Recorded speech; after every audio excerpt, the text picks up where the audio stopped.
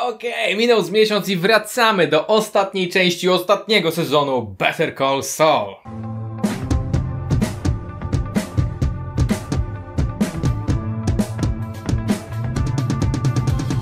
I w ogóle to się śmiałem, bo tak.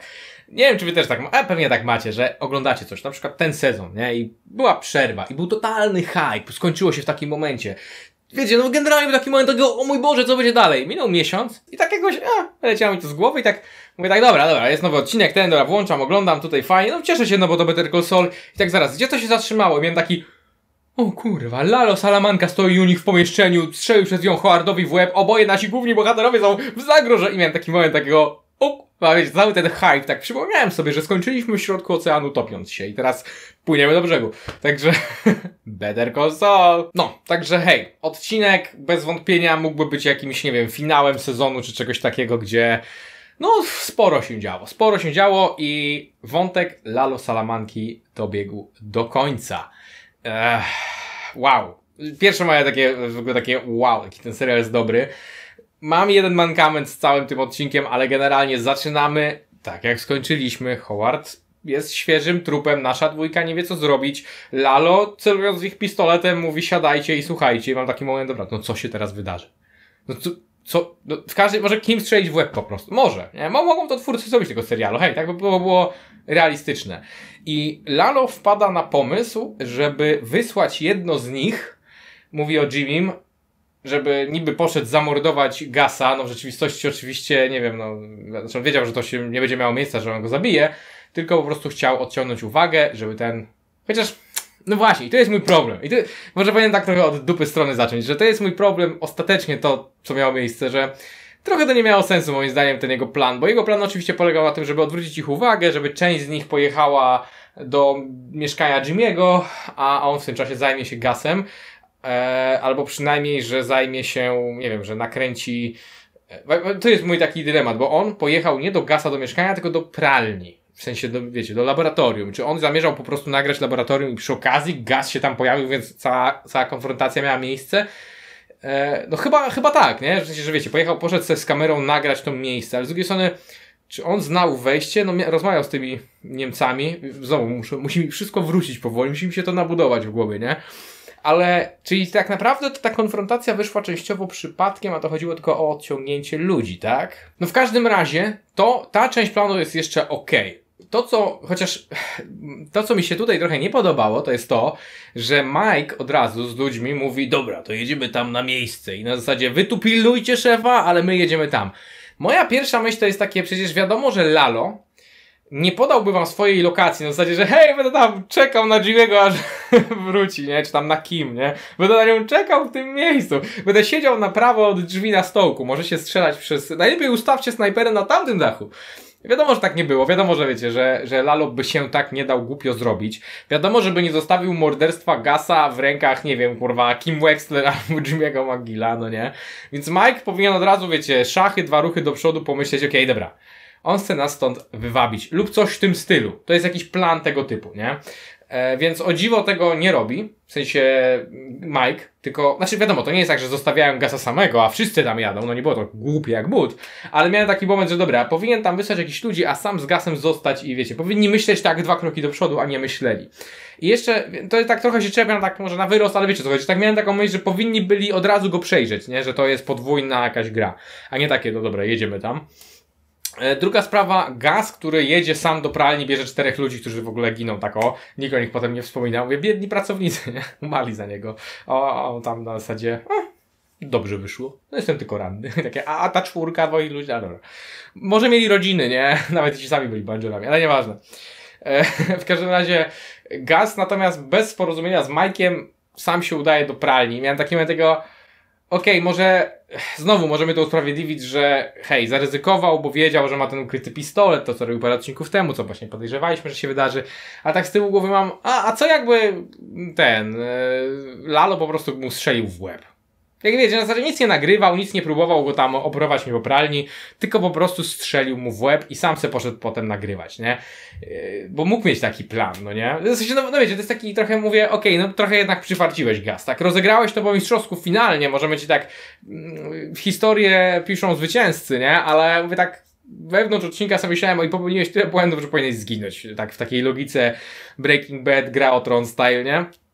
Natomiast, no właśnie, sam finalny pojedynek fantastyczny, gdzie tam ten wszystko mu powiedział do kamery, ten myśli, że wygrał i kopie jakieś światło i biegnie do pistoletu. Podobało mi się, jak to rozwiązali, bo taką jakąś, świecie sytuację, że Lalo, który jest takim cwaniakiem, radził sobie już z wieloma, wychodził ze strzelani cało, że przegra jakiś tam pojedynek, czy jakoś głupio się nadzieje, Mówię, no, mo można to spartolić, nie? Ale rzeczywiście się nie spodziewał, że Gaz, ten facet, w garniturze, co ma 30 ochroniarzy, sam zrobi akcję jak jakiś, wiecie, no, akcję ostatniej szansy. I po tym jak kopnął światło, on do niego strzelił, tylko wiecie, no człowiek jak tak szybko biegnie, to nie jest tak łatwo trafić. Ja często oglądam jakieś strzelaniny ze Stanów i tam często są sytuacje, że yy, słyszycie, że policjanci oddali 100 strzałów i koleś dostał 3 i w ogóle po tych trzech jeszcze bieg dalej, nie? Więc to jest takie, to nie jest tak łatwo tak w ruchomy cel po ciemku trafić. A on dodatkowo się odwrócił, i strzelił, w zasadzie jedna kula trafiła, zaraz tam, nie wiem, po dwóch, trzech nabojach mu się w ogóle ten rewolwer zaciął, albo tam, nie wiem, skończyły naboje, no nie wiem, co tam było, ale strzelał już na pusto i był w takim szoku, że też widać, że tego nie umie, że to nie jest, że on nie jest przyzwyczajony do tego, bo tam cykał na pusto przestraszony, więc to też było fajne, że niby Gaz wziął sprawę w swoje ręce, ale to też nie było dla niego, że on teraz jest nagle Rambo, tylko to też było takie, że on jest nie w swoim żywiole, że tak powiem. No i trafił jedną w szyję, koleś się wykrwawił. Podobała mi się totalnie śmierć Lalo, który umiera niczym jakiś kurwa Joker czy coś w tym stylu, prawdziwy piewca chaosu z uśmiechem we krwi, taki ostatni moment takiego i teraz możemy sobie pogrywać co miał na myśli tym uśmiechem, ale oczywiście no nie, mi przyszło od razu do głowy, że wiecie, że coś w stylu, że człowiek od kurczaków, no nie, chicken man, tak mnie załatwił, wiecie, taki taki respekt wewnątrz gry, taki w grze o tron na zasadzie nóż w plecy od Neda Starka, takie Szacun, stary. Wiecie o co chodzi, nie? Takie rozpoznał takiego, o ty, ty, ty, ty. Ej, ale godna śmierć. Ma to nawet sens teraz, bo cały czas myślałem o tym i pewnie wy też, co wiecie, fani Breaking Bad, że przecież Breaking Bad mówi, e, Saul Goodman mówi, tak? Jimmy mówi, że Lalo was przysłał? I jest szansa, że skoro raz usłyszał, że Lalo nie żyje i teraz Mike mu powiedział, spokojnie, załatwiliśmy to, to może znowu myśleć, ja pierdolę, znowu może żyje, nie? Bo już ile razy, nie? I nawet moja pierwsza myśl była, że Mike powinien powiedzieć, ej, shut the fuck up, widziałem jego martwe ciało. Przed chwilą widziałem jego zwłoki, ok? Nie, i takie wiecie, że to był, ale nie powiedział tego, powiedział, że załatwione, więc dzięki tem, temu jednemu, taki ten jeden tekst, albo brak tekstu, e, powoduje, że potem ten tekst Jimmy'ego ma nawet sens, że w stresie mówi, ja pierdolę, ten Lalo jednak żyje, nie? na zasadzie trzy lata później jest, jednak żyje, więc ej, wybrnęli z tego nie najgorzej, aczkolwiek tak by bez różnicy, wiecie, taki jeden głupi tekst.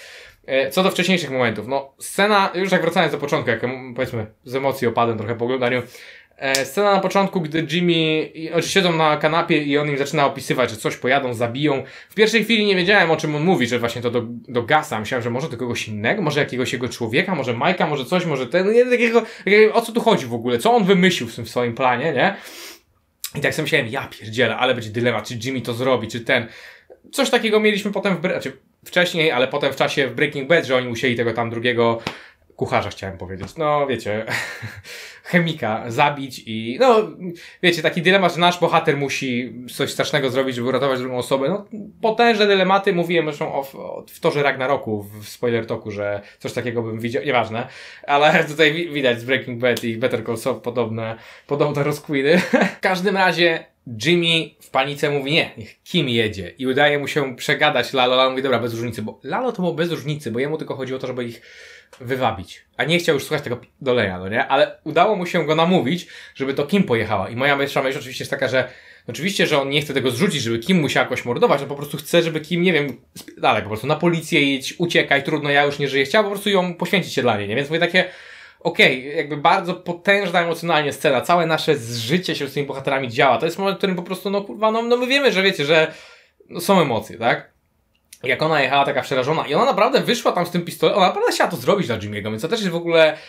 E, aż żałuję, że tak e, trochę się pośpieszyli. Uważam, że brakowało dłuższej sceny w samochodzie jeszcze, że ona się, no, no było takie coś, ale że tak mogli jeszcze trochę to podoić, że ona naprawdę ma taki dylemat i ten, nie? Żeby to była potężna emocjonalnie scena. Ten, ten scenariusz, jaki im napisało życie, a w zasadzie to Vince Gilligan tam z ziomkiem, e, był naprawdę taki wow, nie? Jaki dylemat, jaka decyzja, jaki stres, jakie w ogóle kogoś zabić, a ten ma na muszce tamtego, a w ogóle to Howard nie żyje, a w ogóle to ja mam pistolet w ręce, takie niesamowicie mocne momenty, które są zasłużone, które są, wynikają z wielu lat fantastycznego tworzenia serialu. Także brawo Breaking Bad, brawo Better Call Saul.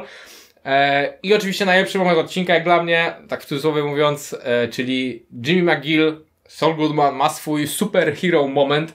E, co mam na myśli mówiąc superhero moment? Taki typowy, że wiecie, że z pierwszy raz Mary Jane Watson widzi, że Peter Parker to Spider-Man, albo coś w tym stylu, a pierwszy raz widzi czyjeś supermocy, jest takie, wait, co, co tu się stało? I jak Gas słyszy od Kim, że no, Jimmy zagadał Lalo i namówił go, żebym to ja pojechała. I ten, w tej całej sytuacji, gdzie mogłoby być tyle pytań, czy był sam, jaką miał broń, o co mu chodziło, jaki, czy, jakim, czy był zły, czy ten, co planuje, kurwa, Lalo Salamanka. W tym momencie Gas mówi, wait, wait, co ty powiedziałaś? zagadał, prze, przegadał, namówił na coś Lalo Salamankę i w zasadzie w ogóle nieważne dalej. Taki mówię, cóż za piękny moment, takiego, taki super hero moment, moc super bohaterska, czyli tego gadania Jimmy'ego po prostu tutaj, że, że Gas ma taki, wait, what?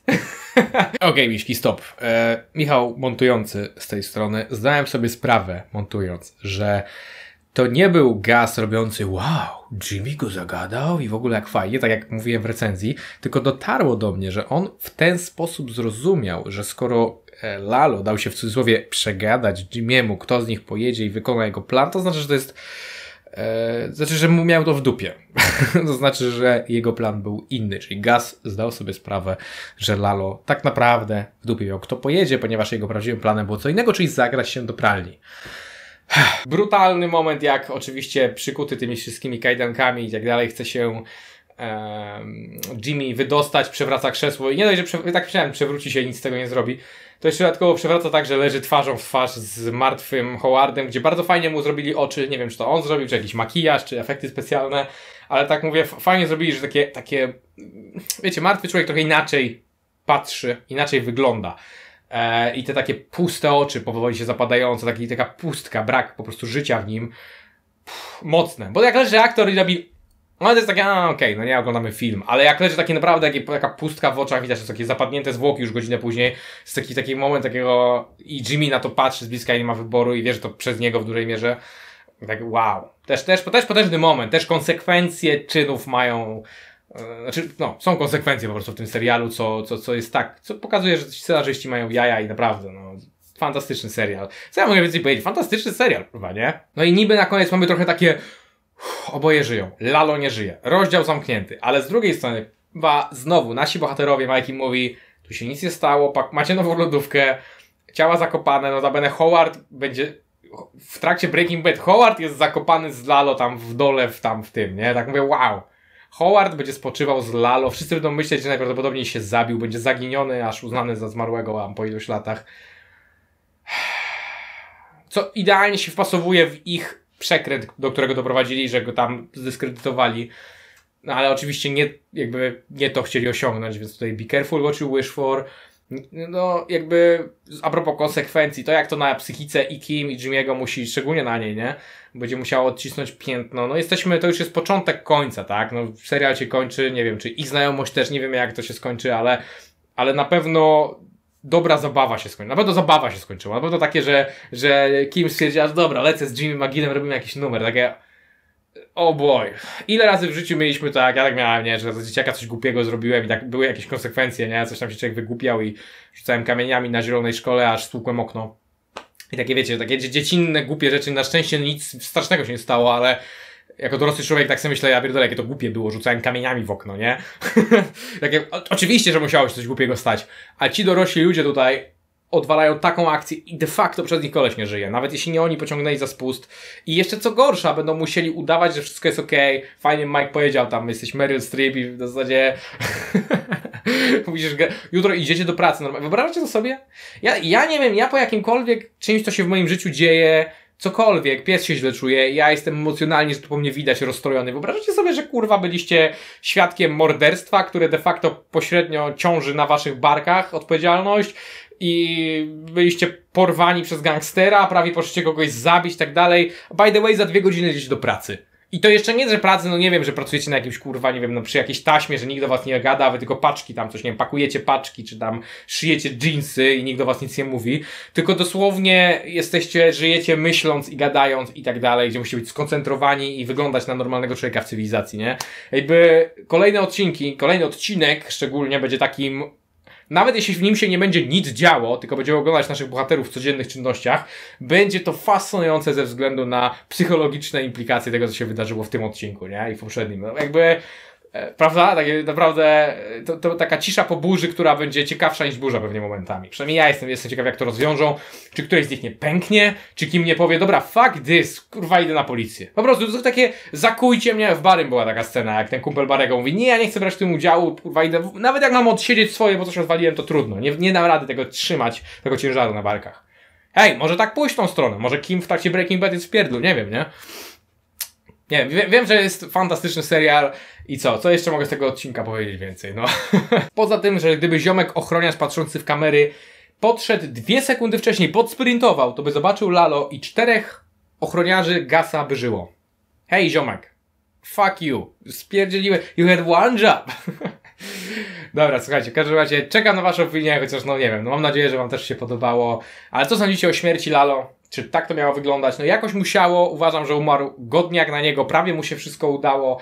Taki fajny pojedynek dwóch rewolwerowców z tego wyszedł i w miarę wszystko miało sens, chociaż moim zdaniem tam te, ten element planu, że te ci pojechali, trochę dali się nabrać, mimo że to było logiczne, że to pułapka, a ten znowuż się stwierdził, że ja jadę tam sam sprawdzić z czterema ziomkami. To trochę takie naciągane było, nie? Że ten gaz. Z drugiej strony jest jakaś taka niecierpliwość w tym czekaniu na, ten, na to zagrożenie z każdej strony. Nie wiem, czy pamiętacie, jak poznałem waszą matkę Slabbed, jak był, jak Barney miał, znaczy Marshall mógł tam jeszcze z raz czy dwa uderzyć Barniego i specjalnie tego nie robił, a Barney tego nienawidził, bo to oczekiwanie ciągłe doprowadzało go do szaleństwa. No to, to jest absurdalne porównanie, ale można wysnuć paralelę między tymi dwiema rzeczami, że to oczekiwanie ciągłe doprowadzało do szału, więc wolał doprowadzić do konfrontacji, ryzykując życie. Czekam na Wasze opinie, dzięki bardzo za uwagę i do zobaczenia w kolejnym Ponarzekajmy o filmach.